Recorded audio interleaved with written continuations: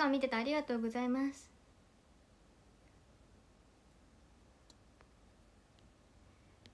ちょっと画面が暗かったな。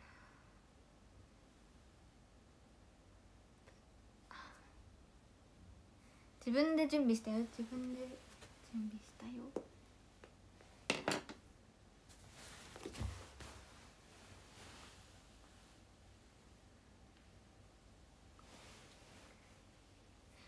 今見てくれましたか？髪の毛伸びた。今日巻いたんね。もうただのボサボサになっちゃった。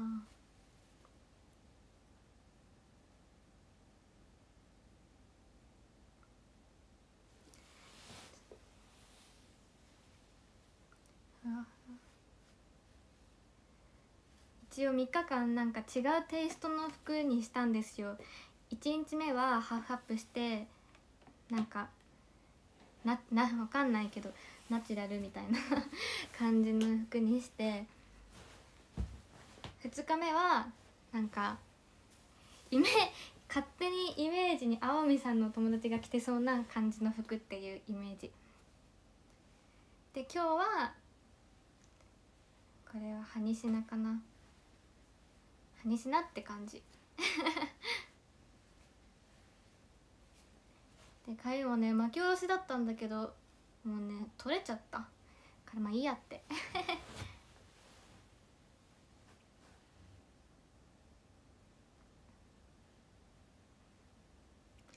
だからなんかただ単に服変えるだけじゃなくてちょっとイメージのテイストも違う感じにしました。なくなっちゃった。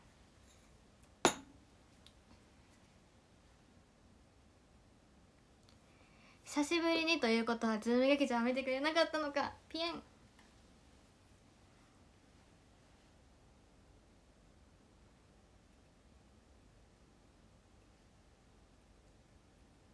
打ち上げは見てくれましたか？打ち上げ。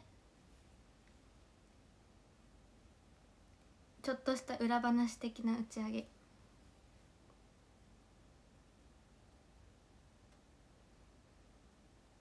なんかチャット流れてたんだけど一瞬すぐさーっていなくなっちゃうからちょっとあれだったんだけど。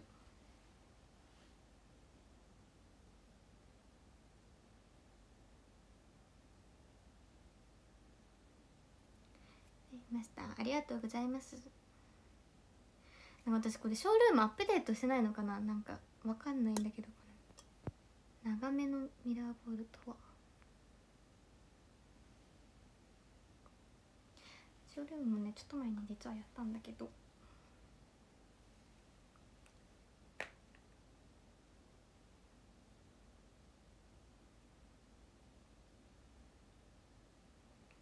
そっか。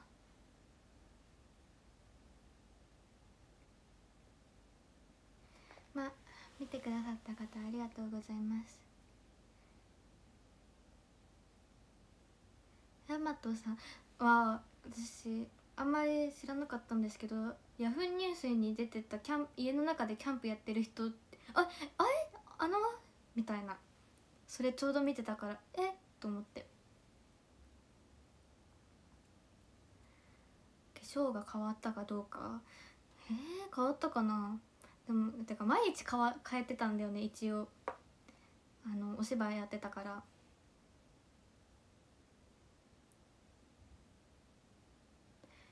から。毎日帰ったからねわかんない。いつもいつも違うんだ割と。わありがとうわ。ありがとうございます。ちょっと見逃しちゃった。よいしょ。あでもお名前読めないので見ておきます。ありがとうございます。なんかすごいねタワーがなんかタワーじゃないタワーだね。タワーじゃないとはって感じだけど。きみちゃんと違うテイストだった？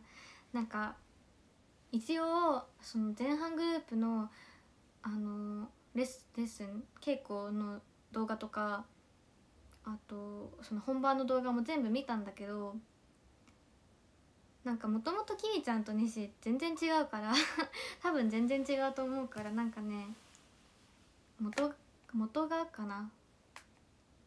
わかんない。なんか自分であえてなんかあのトークショーであの青海さんはみょんまゆさんと変えようって頑張ったって言ってたけどなんかね私はねそんなね意識してなかったんだよね。わかんなくて。そもそもあやカーニバルからファンになりました。ありがとうございます。イコラブのファンの方。どういうかアドバイスなかった。そんなね私も聞かなかったんだけど。聞かなかったんだけど。なんだろう。なんかアドバイスを求めるっていうより なんか普通にあのラブリンとかに「セリフ覚えられる気しない?」みたいな。もうその程度の LINE しかしてなかった。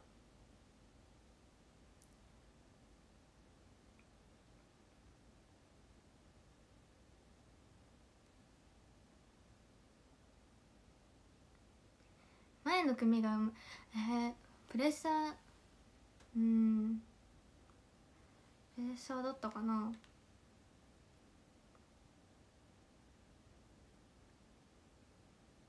そう見た見たちゃんとねあの前半のししーちゃんが棒じゃないと思って。あだから一番それが焦った 焦ったっていうかあのあのしーちゃんがと思って。だからちゃんと頑張ろうみたいな。ちゃんと？わかんないけど。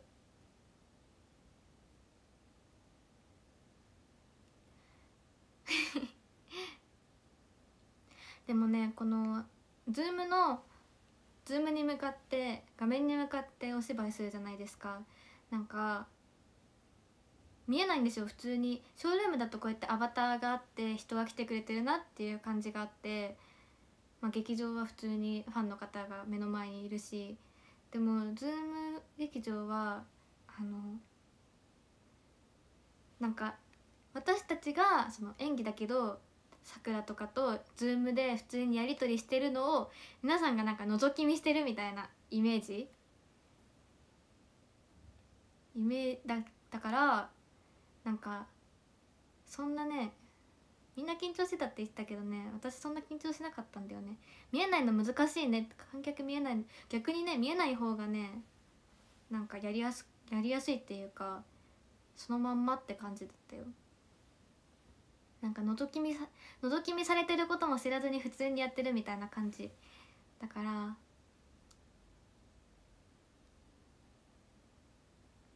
だからそう。反応とかそう逆に反応わかんないから ハッシュタグとかあのモバメの返信とかですごい送ってくれたらそれはすごい嬉しいなって思います。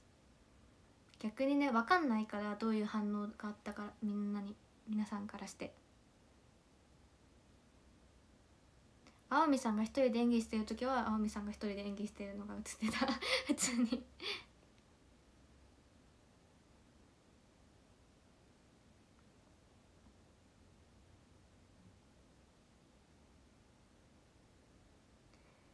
そうねなんか覗き見されてるみたいな感じだから。だからね多分私的にはあのあんまりその方が緊張しないっていうか。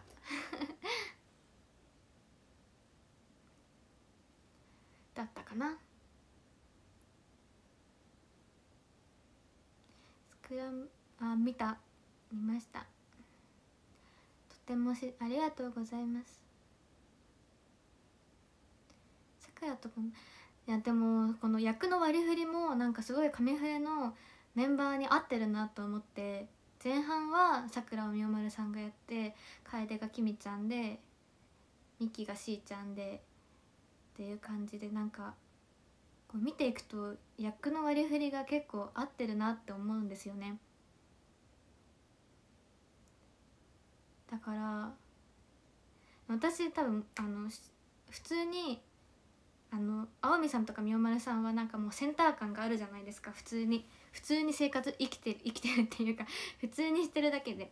でも私はなんかそういうのあんま得意じゃないから主役とかじゃない方が多分やりやすいと思うからね。あの楓役でよかったなって思います。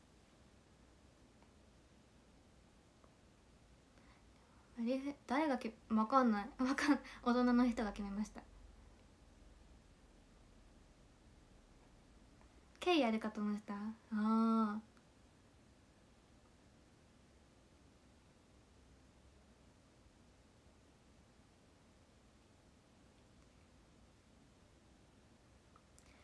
でも K も楽しそうだね。でも笑い怖い笑い方できないかもしれない。何まとめさえ私今なんて言ったらやばい。自分のさ言ったセリセリフじゃない。あの言葉を忘れちゃうからさ。なんか抜き取られてまとめられるのあんま好きじゃないんだよね。夏の女ラブリンそうラブリンのも見てたからラブリンのとはまた違うなっていう感じ。なんかね笑い声もね宮丸さんが最初やってたのはなんかもっと甲高い笑い声だったんだけどそれじゃなんかあんま笑い声感がないよねみたいになってで今の笑い声になったの。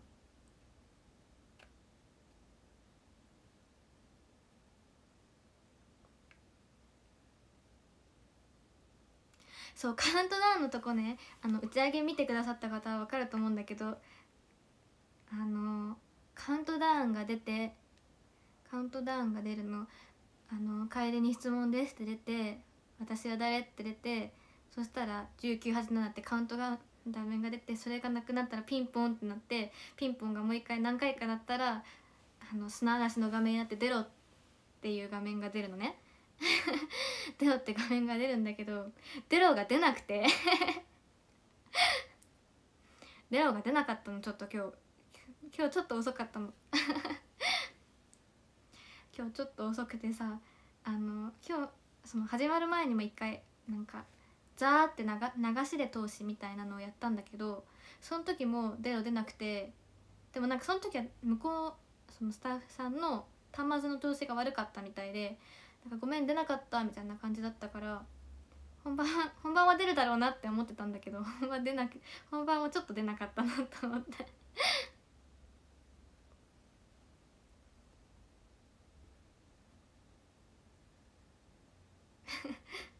そう出ろが出ろって。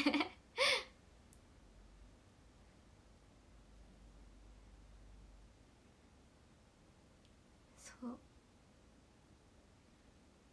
横でもねちゃんとピンポンが鳴ってから横向きゅうにしてたんだけどおかしいな。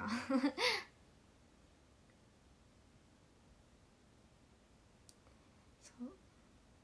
でもなんかそれも奥間さんがなんかあの普通に通になんか見入っちゃってたみたいな感じで言ってくださったんで逆に良かったなって思います。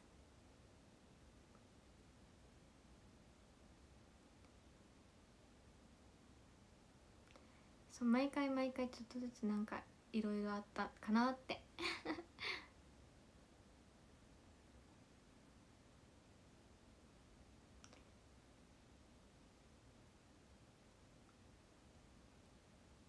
ごい楽しかったからまたやりたいなって思う。19分。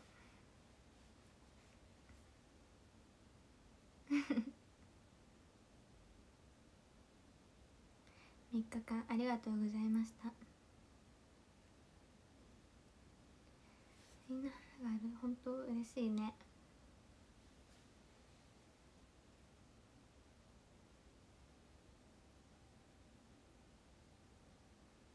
そう毎回違う感じで。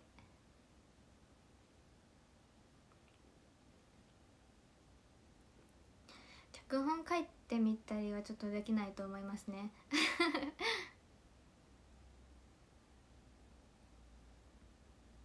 でも演劇はなんか元からちょっとやってみたいなってのはあったんですよ。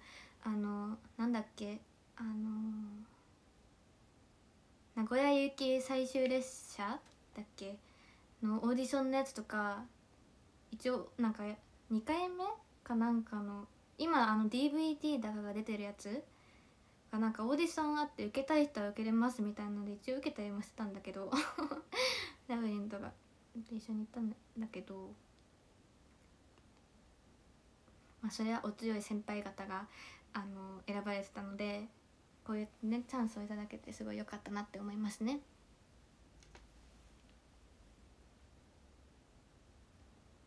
そうあれもなんかね受けたい人だからね何人普通に結構いたんじゃないかな。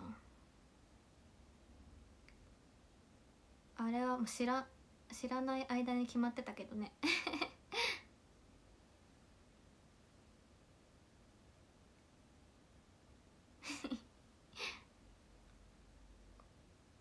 そうロケもできてよかったなって。もう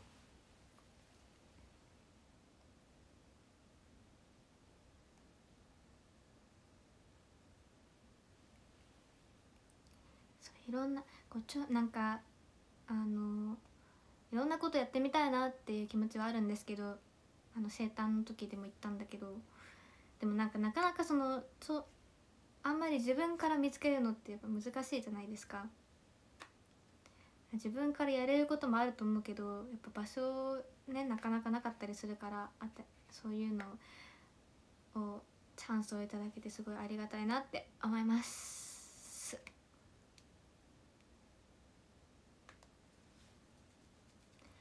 ね。だから見てくださった方はあの本当にあのハッシュタグで ツイートしてください。いっぱい。いっぱいカミングフレーバーつけカミングフレーバーズーム劇場オンラインのみでよろしくお願いします。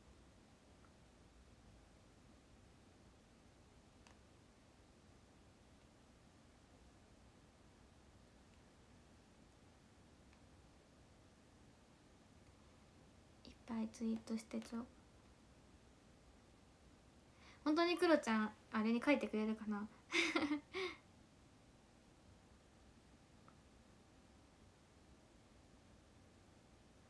ツイッターのプロフィール欄に。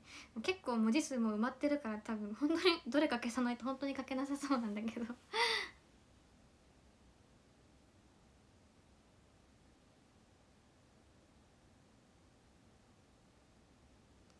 すごい。サイリウムもちゃんと SKA のやつ持ってくれてたんだ。すごいね。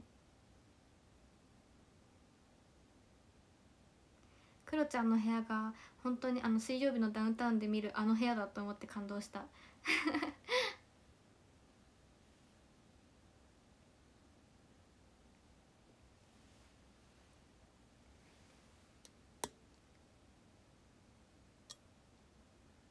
カミングフレーバーはドルオタ界隈でちょっとえー、そうなんですか？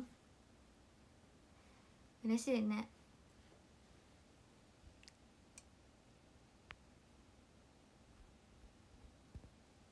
タイからこんばんは。タイタイ語はわかんないね。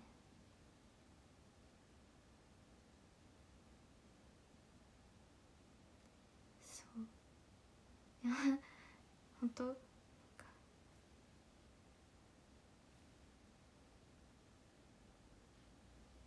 そう見たことあると思って。なんか先々週くらいにはあの部屋でなんか変なスムージーみたいなやつ作ってたお米バラバラバラにしてたけどちゃんとちゃんと片付けたのかな。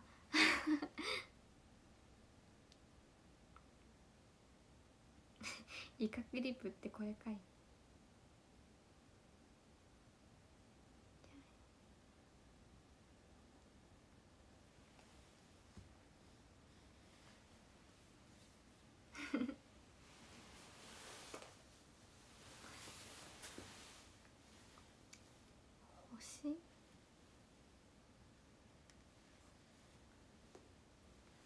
本日の服。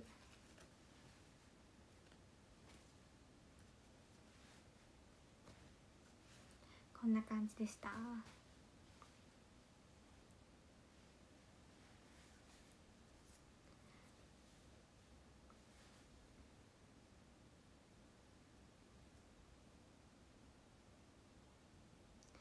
暑いね。昨日今日ジメジメしてるねやっぱり本当に。ああとなんだっけ？なんか裏話話そうって思ったんだけど忘れちゃった。ああとはなんか時計置いてたじゃないですか時計。時計置いてたんだけどなんか前半チームはみんなあのアナログ時計だったんですよ。アナログの時計だったんだけど私の家にはデジタルしかなくてデジタルしかないからなんか余計8時になったとかそういうのがあのアナログだったらまあちょいずれてても分かんないじゃないですか。でもデジタルだからなんかそういうだからちょっとあの実際に8時から始まるようにしたいねっていう感じであのちょい前から始めようってなったりとか。だからそう17時50 17時じゃないや19時59分。頃から桜が入ってくるよみたいな。のとかね。だから本当になんか家ならではですよね。あのその人のお家ならでは。いやその時計。しかもなんかぜあの第一グループの時になんかあれだったみたいなんですよ。なんかちょい前から始めちゃうと8時開演じゃ8時開演な20時開演なのに20時開演じゃないのかよっていう意見があったらしくて だからちゃんと19時59分にはちゃんと入ってますって入ってなっていう宣伝をしようっていう。腕の筋肉はないと思います。ない。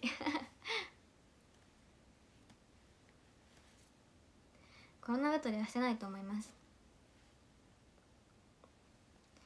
ありがとうございます。リアルタイム感があってよかったんじゃないかなって思います。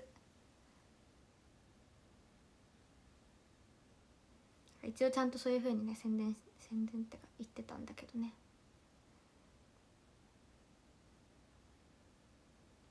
なんかもう本当にセルフプロデュースですよね。衣装とか衣装衣装じゃないしね。私服だし。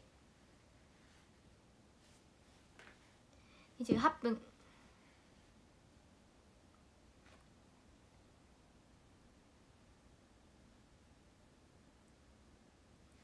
あのぬいぐるみもね毎日並び順変えてたりして今日はペンギンを足してみた。ペンギンはわかんない普通昔からお家にあるやつです。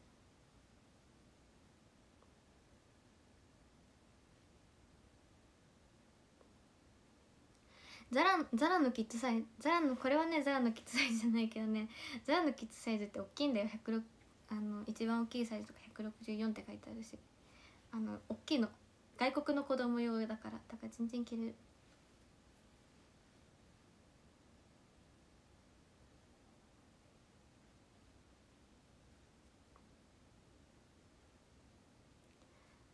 なんか色がいい感じのやつを選びました。普通にキッズなんかあの外国の子供向けのだから普通に大人のあの女性でもよく着るって。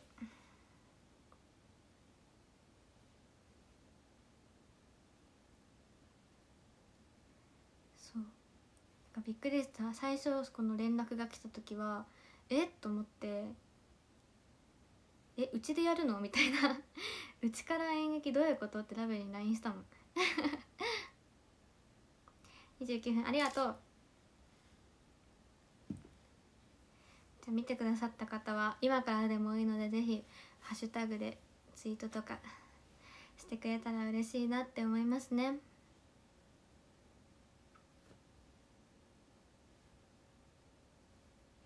ありがとうございました。ギフトもお名前呼べないけどありがとうございました。バイバーイ。